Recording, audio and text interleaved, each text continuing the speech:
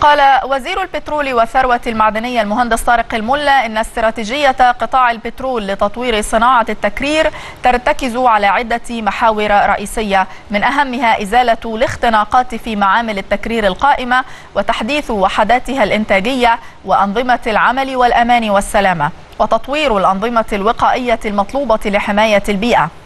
وشدد خلال الجمعيات العامة لشركتي السويس لتصنيع البترول والنصر للبترول شدد الوزير على أهمية التوافق البيئي لكي تتمكن الشركات من تحقيق خططها الاستثمارية. لافتا إلى ضرورة الاستمرار في تكثيف برامج تأهيل الكوادر البشرية للمساهمة في رفع معدلات الأداء مع أهمية وضع توقيتات محددة للمشروعات الجديدة المخططة حتى يكون هناك التزام واضح للانتهاء منها طبقا للبرنامج الزمني الموضوع.